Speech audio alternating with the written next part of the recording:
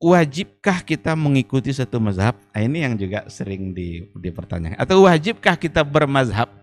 Kalau seandainya maksud dari wajib bermazhab itu adalah wajib mengikuti satu mazhab dalam setiap ibadah, jawabannya tidak wajib. Karena kalau seandainya kita mewajibkan untuk beribadah dalam bentuk satu mazhab saja, tidak boleh kita mengamalkan mazhab yang lain, kita sebenarnya telah mempersempit kehidupan kita sendiri. Karena adanya banyak mazhab itu sebagai rahmat dan sebagai kelapangan dalam beribadah betapa sulitnya nanti kita untuk mengikuti satu mazhab dalam semua amal ibadah. Dan barangkali tidak ada orang yang umpamanya dia syafi'i umpamanya. Benar-benar dari awal sampai mati nanti dia syafi'i terus. Tidak ada. Bahkan murid-murid Imam Syafi'i itu sendiri terkadang berbeda dengan Imam dan Imam Syafi'i. Sekarang kalau mereka berbeda umpamanya antara Imam Syafi'i dan muridnya, kita mengikuti imamnya atau mengikuti muridnya?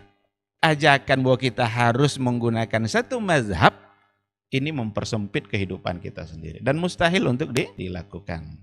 Imam Syafi'i ketika beliau beristihad, beliau itu orang yang sangat hebat, tidak ada orang seperti Imam Syafi'i hari ini. Tetapi dia sendiri mengatakan ra'i sawab yahtamilul khata.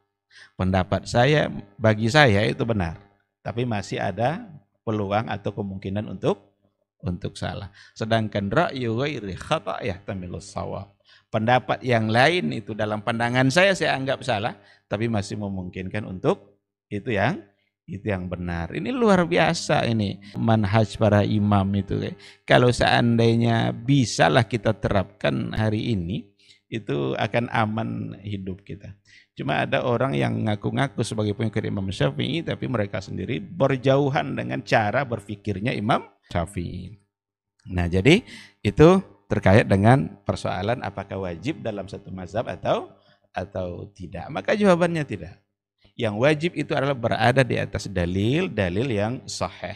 Seandainya ada satu pandangan mazhab yang ternyata landasan-landasannya tidak lebih kuat daripada pendapat yang lain, maka yang harus diikuti bukan mazhabnya, tapi harus diikuti adalah pendapat yang berada di atas dalil-dalil yang sah.